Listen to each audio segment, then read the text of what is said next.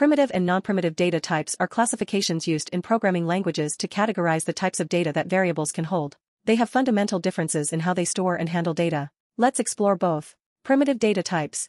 Definition Primitive data types are basic data types directly supported by the programming language. They are atomic and represent simple values. Storage Primitive data types store their value directly in memory, which means they occupy a fixed amount of memory space. Immutability In most programming languages, primitive data types are immutable, meaning their value cannot be changed once assigned. Examples Common primitive data types include integers, int, floating point numbers, float, double, characters, char, booleans, bool, and symbols, in some languages. Non-primitive data types. Definition, non-primitive data types, also known as reference types, are more complex data types that are composed of multiple values or other objects. Storage, non-primitive data types store a reference, memory address, to the actual data rather than the data itself. They are dynamically sized, allowing them to hold varying amounts of data. Mutability, non-primitive data types are often mutable, meaning their internal state can be changed even after their creation. Examples, common non-primitive data types include arrays, objects, functions, and classes.